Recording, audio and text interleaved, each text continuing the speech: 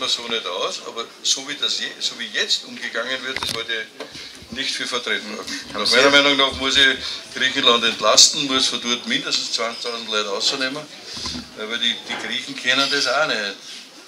Die sind zu schwach. Ja. Äh, wie erklären Sie sich, dass so viele Afghanen eigentlich, wenn man das anschaut, die Statistiken, es wird ja immer, wenn man also Bilder sieht von Flüchtlingen, dann sind es immer Familien, das sind aber großteils syrische Familien. Ja. Äh, die Afghanen machen mindestens ja, gleich hat, viel sozusagen ja, Flüchtlinge ist von der Menge aus. ein sehr großes Land, ähm, sehr viele Menschen und Afghanistan hat auch seit 15, 20 Jahren Bürgerkriege.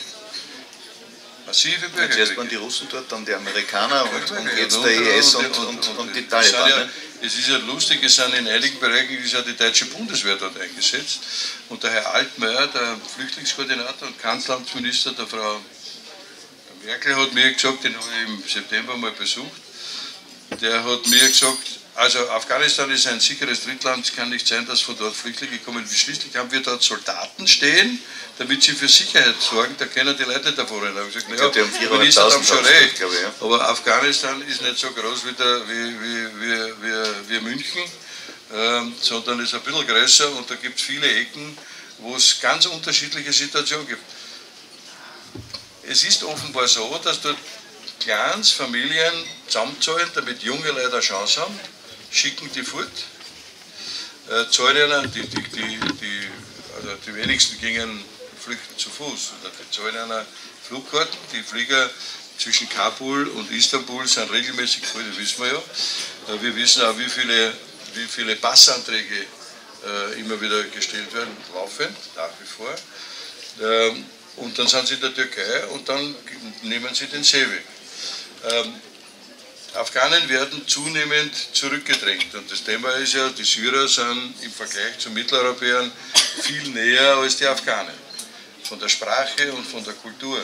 Und auch von der Ausbildung. Ne? Und auch von der Ausbildung, ja, ja. Das ist ja, das ich dann auch so ansprechen. Die ja. sind außerdem, auch jetzt mal, äh, eher gewaltbereit, also so wie man sagt in Österreich, die Steirer sind auch Wehrhafter. Nicht? Und, ähm, ich habe mir gedacht, das sind die Tiroler.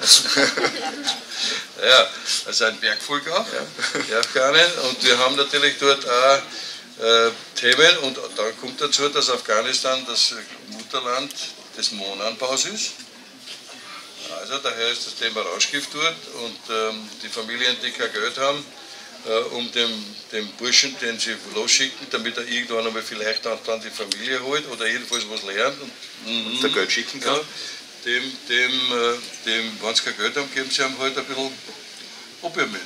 Der verkauft das in Istanbul oder in Belgrad oder was, wo immer, damit er Geld kriegt, um weiterzureiten. Das wissen wir alle. Und das, das, Problem ist ja gerade bei den Afghanen, bei den äh, unmündigen äh, oder minderjährigen äh, Flüchtlingen, dass die teilweise ganz wenig bis überhaupt keinen Schulabschluss haben. Ich habe jetzt irgendwo in der Frankfurter Allgemeinen Zeitung, äh, ist so, so ein bisschen provokant getitelt gewesen, wie viel, wie viel Ziegenhirten braucht Deutschland? Ne? Ja, äh, Teil, was macht man mit denen? Zum Teil äh, haben sie nicht einmal die eigene Sprache ordentlich gelernt. Jetzt wie lernst du ihnen in einer anderen Sprache Grammatik, wenn sie es in der eigenen nicht kennen?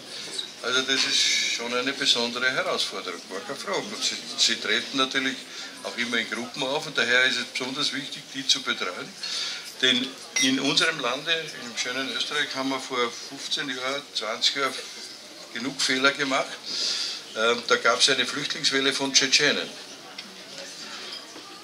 Und wir haben im letzten halben, dreiviertel Jahr doch eine Reihe von Prozessen gehabt, da in Graz, äh, mit, äh, mit äh, Dschihad-Kämpfern oder mit IS-Kämpfern oder Sympathisanten, die zurückkehren und und und und. und. Das sind in aller Regel Tschetschenen. Ja, und da Messerstechereien, jetzt glaube ich, ja, in das sind Tschetschenen, die als Kinder, als Babys oder, oder, oder junge Leute zu uns gekommen sind, keine Perspektive haben, anfällig sind für die, für die Propaganda und, da, und daher in die Gewalt gehen. Und das, ja, das ist, aber das ist eine Bombe, die tickt. Ne? Ja, aber was macht man dagegen? Und ich meine, genauso, wenn man jetzt die Flüchtlingsquartiere, wie Sie gesagt haben, sie versuchen, das eben möglichst äh, gering zu halten, die Zahl, die an einem Platz ist, aber sonst haben wir ja eine Ghettobildung. Nicht? Wenn ja. jetzt 400 äh, 18 bis 25 Gemeinsame Bemühungen der Betreuung und damit der, der besseren Integration. Das heißt, die müssen, die müssen Sprachen lernen, dann kriegen sie Unterstützung und sie müssen die Möglichkeit haben, sie müssen die Möglichkeit haben, irgendeiner Arbeit, einer sinnvollen Tätigkeit sie herumhängen, ja, und, und schauen ist das. Ja, aber bitte, wo setzt man sie ein? Äh, ja, ich meine, sagen wir uns doch einmal ganz sagen wir uns doch in, in, ehrlich, also es gibt ja für, ja, für Hilfsarbeiter gibt es ja äh, jetzt auch keinen kein, Wir haben nicht Bedarf. so viele Hilfsarbeiter in dem Land. Also da Nein, ich sage, wir haben ja keinen Bedarf dafür. Ne? Nein, da gibt es schon genug Möglichkeiten. Also es gibt genug Möglichkeiten, sagen wir alle.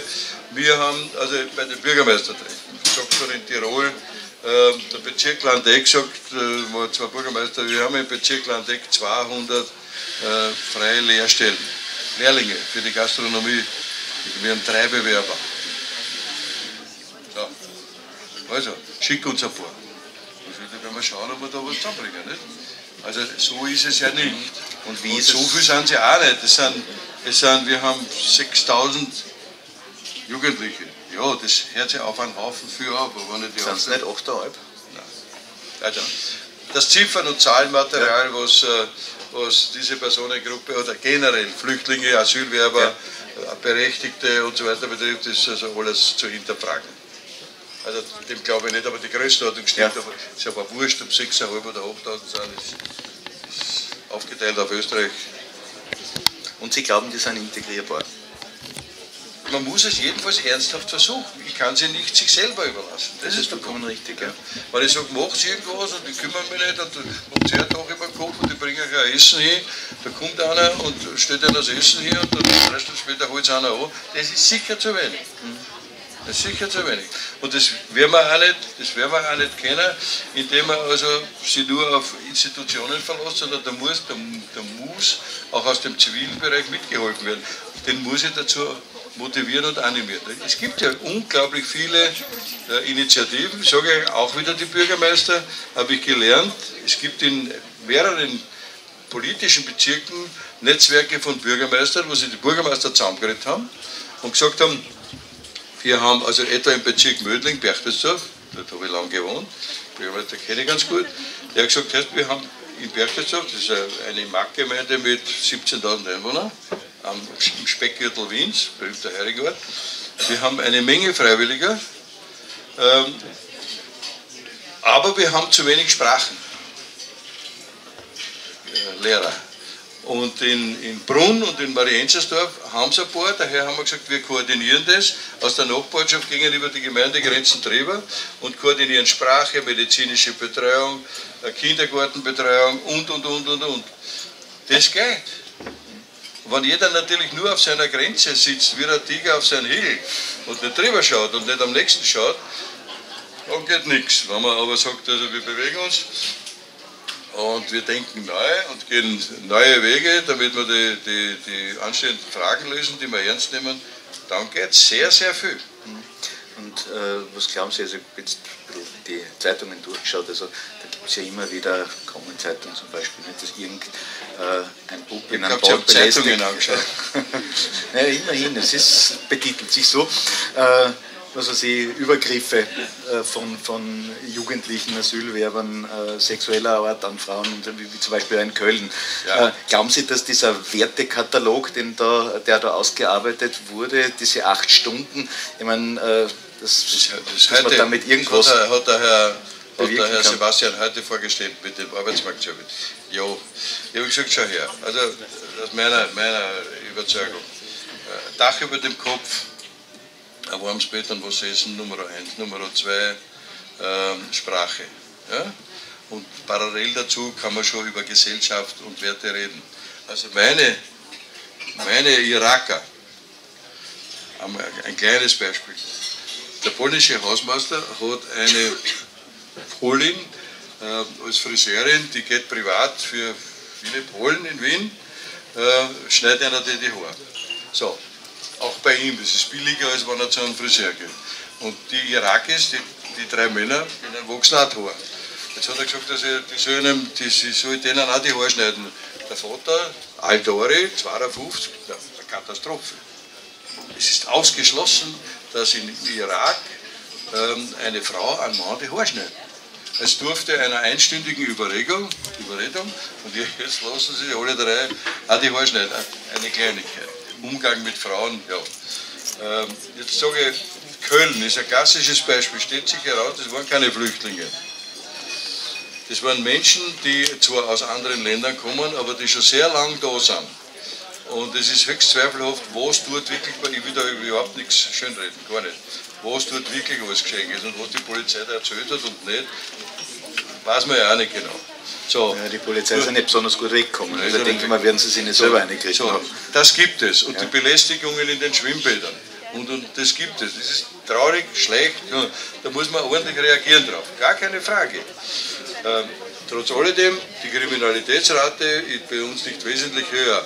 Wird der Bürgermeister von Breckraten in Osttirol, der hat gesagt, er nimmt in dem hintersten Tal nimmt der Flüchtlinge, hat er beschlossen, hat seine Gemeindebürger per, Schreib, per Schreiben informiert und hat 15 Männer genommen. Und zwar nicht aus, aus, aus, aus dem Irak oder aus Syrien, sondern meistens Schwarzafrikaner. Also die fallen da hinten ordentlich auf in Osttirol. Und die haben ein bisschen gewechselt im Laufe der Zeit und nach einem halben Jahr hat er gesagt, er hat eine Bilanz gezogen und hat festgestellt, ja, es stimmt, also es hat im Wesentlichen alles funktioniert. Wir haben angenommen, machen Hilfsdienste in der Gemeinde, haben ein Problem, dass wenn sie zu einer Ersteinvernahme müssen sie zum Asylamt nach Innsbruck, von Breckraten nach Innsbruck ist eine Tagesreise oder über Nacht geht das. Also wir haben geholfen, dass das Asylamt also einmal im Monat äh, nach äh, Lienz geht, damit die noch nicht so weit haben, wir fahren eine Stunde im Bus. Ähm, und er hat gesagt, die 15 Männer, wir haben dreimal in einem halben Jahr einen Polizeieinsatz gehabt, weil es eine Taucherei oder Rafferei in dem Haus gegeben hat. Er hat gesagt, ich möchte nicht wissen, wenn ich 15 Tiroler ein halbes Jahr in ein Haus einbringen, wie oft da die Polizei kommen muss. Wahrscheinlich öfter, weil bei, den, bei denen, bei den äh, Asylwerbern äh, sind mehrere dabei, die keinen Alkohol trinken, während die Tiroler schon. Ähm, wie glauben Sie, wird sich das Ganze, also wenn wir jetzt diese Flüchtlinge aufnehmen, wird sich das auf die Arbeitsmarktsituation und auf die, die, die Beschäftigungszahlen auswirken? Wir haben derzeit 470.000 ähm, Beschäftigungslose, Anführungszeichen, Arbeitslose in Österreich. Davon sind 17.000, 18.000 Asylberechtigte. Also nicht. Also praktisch kein Verdrängungskampf. Also auch nicht auf dem sogenannten Arbeitsstrich, den es ja in den größeren Städten immer gibt. Äh ja, der wird vielleicht ein bisschen dichter oder nicht, aber in Wahrheit äh, sind das, was, 3 Ja. Hm. Also ich glaube das nicht. Äh, es ist allerdings schon so, dass äh, die Arbeitsbereitschaft und Willigkeit äh, im Schnitt eher stärker ausgebildet ist als bei unseren herkömmlichen bei denen ich es immer wieder überlebe, du sitzt beim Friseur, kommt der Vater mit seinem und sagt, ich brauche einen Stempel. Gibt ja, und zwar gar nicht wenig, nicht? wissen wir schon.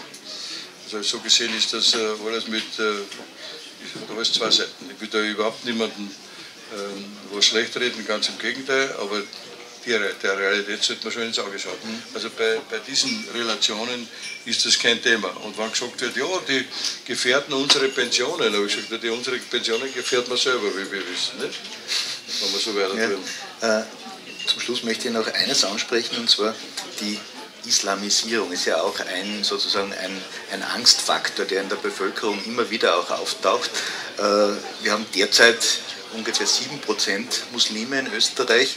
Es gibt Schätzungen, die variieren also zum Jahre 2050 zwischen 20 und 30 Prozent. Und gleichzeitig ein, ein Absinken der Katholiken von 78 Prozent 1971 noch äh, 44 Prozent haben wir heute und die werden sich irgendwo bei 33 einbinden. Wir wissen, dass sozusagen der Abbau der Katholiken ein selbstgemachtes Problem ist, ein hauseigenes Problem ist. Die, da können die das, das ist vollkommen klar. Aber glauben Sie, wird das irgendwie äh, das haben wir, gesellschaftlicher also, Sprengstoff werden? Das haben wir zum, bis zu einem gewissen Grad selber in der Hand. Ähm, Faktum ist, haben wir heute darüber geredet, in Wien gibt es schon viel mehr Moscheen und, ähm, und einschlägige Häuser mit, äh, mit äh, zum islamischen Glauben wo man so allgemein glaubt oder weiß. Es gibt schon viel mehr. Und in aller Regel sind sie auch okay. Ähm, schwierig wird es nur dort, wo militant äh, aufgetreten wird. Und da hat haben wir ja gerade mitgekriegt, da hat es schwere Versäumnisse gegeben bei den Kindergärten, Kindergärten und so weiter und so weiter. Aber da ist eine Kultur dahinter, nicht, dass sowas überhaupt entstehen kann. Das ist schon gezielt, der hat man nicht rechtzeitig einhalten. An sich, an sich, Österreich, Entschuldige, Österreich war ja mal ein bisschen größer, als wir heute sind. Äh, und, ähm, äh, und, der Islam war immer eine Religion, die sich in, in, in den Kronlanden also gehalten hat, auch beim K&K Militär. Äh, das war so nie ein Thema. Aber wie, wie man mit den Katholiken umgeht, das haben wir selber in der Hand. Aber heute war die Frau Dr. Griss bei mir, um mich zu werben. Oder um mir das zu reden. Personenkomitee oder was? Ja, ich habe gesagt, ja, also ich schaue Ihnen eh zu, sehe ich das eh, lasse, lasse ich vom Josef Bröll schön grüßen. Äh, der Finanzminister, den sie also ja auch ein bisschen kritisiert hat. Trotzdem lässt er sich schön grüßen. Ähm, und, ähm, ist ja nichts geschehen. Und ne? sie hat gesagt, ja, aber ihr Büro, das sieht man auf den Stephanzum. Ja, ja, das, ich sitze mit den Brücken. Das ist ein unrühmliches Kapitel, weil nach der Fertigstellung von Maria Zöhe äh, hat mit der Herr Erzbischof dreimal angeredet, ich soll beim Stephantum was machen. Ähm, und, äh, das war ja nicht so ganz friktionsfrei, ne? Nein, äh, ich habe da drei Jahre wirklich investiert, habe alles auf die Viers gestellt, Baupläne fertig, äh, alles genehmigt, Finanzierung gesichert und und und, dann hat er gesagt, er will nicht. nicht? Ähm, das hat er nicht einmal gesagt, das war das Problem. Und ich habe einmal gesagt, also wen für mich ist, und er hat gesagt, wir haben so viele Kirchenaustritte, 55.000 Menschen treten aus der Kirche. Ich sage, aber da nicht, weil jeden Stephansdom herrichten, will ich nicht. Und dazu nehme ich dir keinen Cent von den Kirchenbeiträgen weg. Du kannst alle deine, deine, deine braven Frauen beruhigen. Nicht ein einziger Cent. Das Geld habe ich alles auftrieben. Ähm, und ich habe gesagt, und in Wahrheit wäre es ein Zeichen, wenn alle Leute schreien, wie viele Moscheen wir wo bauen, wo wir die Minarette hinstellen, was du viel gescheiter, wir richten unser Stephansdom ordentlich her. Weil das ist ein nationales Identifikationsmerkmal und mit dem identifizieren sich viele Österreicher. Ein, was? Stephansdom, Schönbrunn. Ein bisschen Salzburg, dann haben wir es. Ne? Ja, ja, ja, die Grazer Uhr. Ja, ja, keine Frage. Aber, aber das haben wir, das, die, die katholische Kirche haben wir selber in der Hand. Und natürlich ist es so, aber das weiß ja jeder, der ein bisschen vor, die, vor, vor, vor in der Welt um dumm fährt, ähm, und das sehe ich auch bei meinen drei Irakis, der bett dreimal am Tag. Und das wissen wir schon, wann, der, wann er seine Bettstunde hat, da macht er auch nicht auf, wenn ich klopfe. Hm, also da ist ein 20 Minuten Gebet und die zwei Buben, die sind dazu verurteilt und ja, es funktioniert. Wo gibt es das bei uns noch? Wer betten auf Kosten oder vermessen? Ich, wenn ich meine 99-jährige Mutter besuche, komme ja eh so sehr unser Gast und dann essen wir die Suppe. Ne? Freiwillig? Ja, ja nicht. wenn ich das nicht mache, dann kriege ich eine. Ich kriege krieg durch keine, aber, aber da ernte ich einen Blick. Ja, ja. ist ja so. Ja, dann darf ich einmal meine Gesprächs- oder meine Fragerunde äh, schließen und äh, darf jetzt Sie bitten, Fragen an den Herrn Dr. Konrad zu stellen, die Ihnen auf den Lippen brennen. Darf Sie bitten, wenn Sie sich zu Wort melden, dass Sie sich ganz kurz vorstellen, bitte. Bitte. Darf ich? Grüß Gott, ich heiße Peter Bresinger und ich habe folgende Frage. Mhm. Wir wissen ja, dass diese immer wieder zitierten äh, Genfer, dass die Genfer Konvention ja nicht von der Europäischen Union beschlossen wurde und ratifiziert wurde, sondern im Rahmen der Vereinten Nationen in Genf seinerzeit in den 50er Jahren mit den Zusatzprotokollen dann in den 60er Jahren. Und mich wundert, dass die Europäische Union da überhaupt, pardon, Entschuldigung, die UNO, dass die Vereinten Nationen sie mehr oder weniger abputzen. Die stellen wohl Zelte hin, da steht dann groß UNHCR drauf.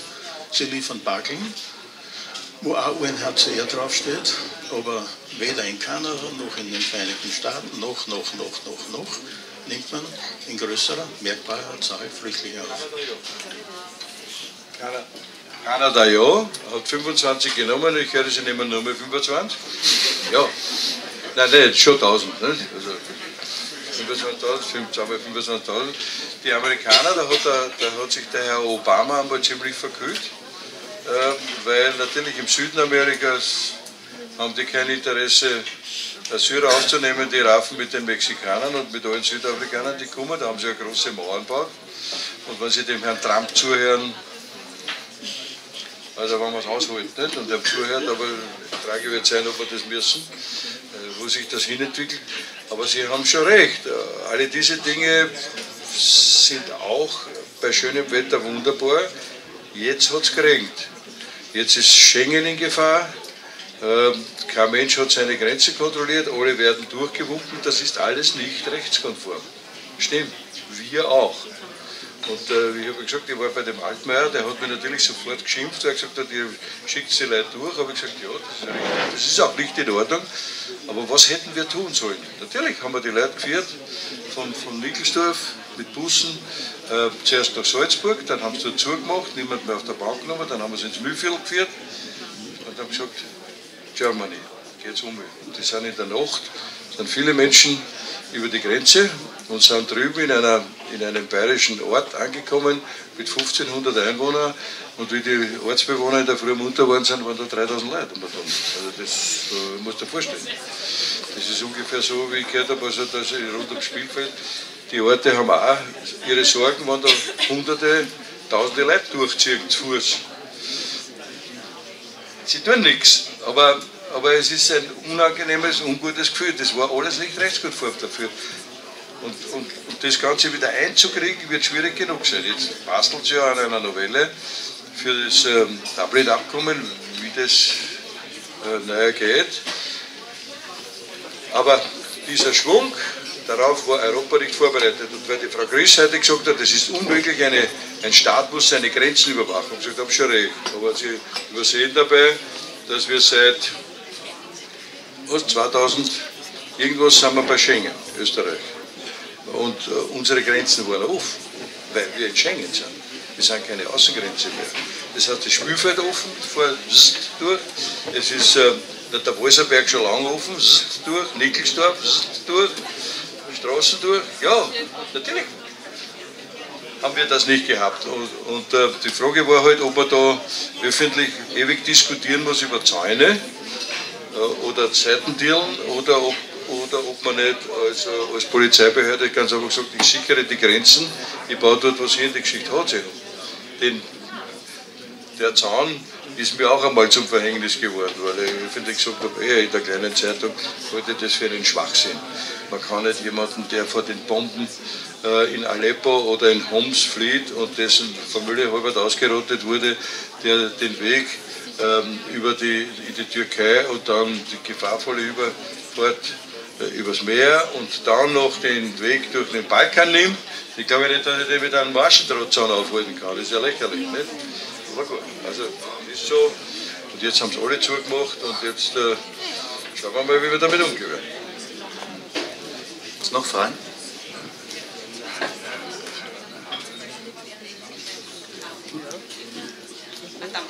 Mein Name ist Magister Wagner und ich bin vier, äh, sozusagen von vier jungen Männern adoptiert worden. Und drei kommen aus Afghanistan, das sind Hazara und einer aus Bangladesch. Und der eine spricht sechs Sprachen. Also er ist ein Hazara, er spricht Österreichisch, Deutsch, Englisch, äh, Pashtu, Urdu und Hindi. Und der, an, der andere geht in die neue Mittelschule, war Analphabet und hat Deutsch gelernt und macht jetzt den Hauptschulabschluss. Der dritte, was ich betreut und macht den Vorbereitungslehrgang, war auch Analphabet. Und der vierte ist aus Bangladesch und er geht jetzt ins Abendgymnasium.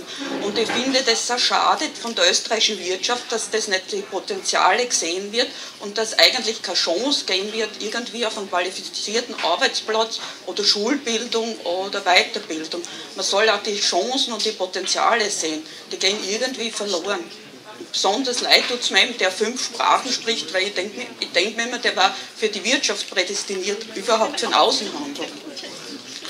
Ja. ja. Also, tut mir leid. Und er spricht fließend, ja. nicht? das ist das. Und, und irgendwie geht das alles unter. Und ich mache auch Konversation beim österreichischen Integrationsfonds ja. und dort sitzen Lehrer, Architekten, also Akademiker und die, ja, also zunächst einmal das Problem, dass wir lange Zeit... Also, also was ich noch dazu ja. sagen wollte, zwei sind Sunniten, Einer ist konvertiert, der ist jetzt Christ geworden, und der dritte, also zwei sind Schiiten, der eine ist konvertiert von Schiiten zum Christentum, er ist Katholik, und der vierte ist Sunnite. Also und es funktioniert ohne weiteres und es gibt keine Probleme mit Frauen, die sind nicht gläubig und überhaupt nicht. Und ich finde, das ist irgendwie so eine Angstmache und ich versuche denen auch österreichische Werte zu vermitteln, weil schließlich und endlich sind sie in Österreich. Ja. Oder? Danke vielmals. Bitte. Ja, äh, das Problem, das wir hatten, jedenfalls aus, aus, dem, aus der Entwicklung des letzten Jahres oder halben Jahres, ist, dass wir keine Ahnung hatten, wer da ist. Also wir haben Namen, aber brr. Äh, wir haben Alter, das ist also brr. Ähm, daher gibt es Altersfeststellungen, lässt sich ja schon tun. Ähm, äh, und die wurden zum Teil auch missbraucht, weil man gesagt hat, du bist, eh erst, bist nicht 16, du bist eh schon 18 und vorher gehst nicht mehr in die Jugendbetreuung. Das ist ja auch ein bisschen ein Kapitel. Ähm, aber wir haben, wir haben also den Mund fusselig geredet und haben eine Reihe von Organisationen, die dem Arbeitsmarktservice helfen, Assessments zu machen. Wer ist da, was kennen die? Und wenn, und wenn einer und wenn einer sagt, ich bin ein gelernter Elektriker, dann muss ich ihn einmal in eine Elektrikwerkstatt geben und sagen, so, jetzt sagst du mir mal zwei Tage, wie du, wie du damit umgehst. Ja, und dann stellt sich schnell heraus, ja, er ist einer oder er ist keiner, weil das manchmal sagt er, ich kann was, was er nicht wirklich wahr ist. Da sind wir viel zu weit hinten, hängt aber auch mit der Anzahl zusammen. Und, ähm, und es gibt natürlich allerhand Bemühungen vom, vom, vom Jungarbeiterdorf und, und, und, und, und, und, die Lehrwerkstätten, die wir haben, da einzusetzen für die Ausbildung und den Test und die Entwicklung dieser Leute. Ja,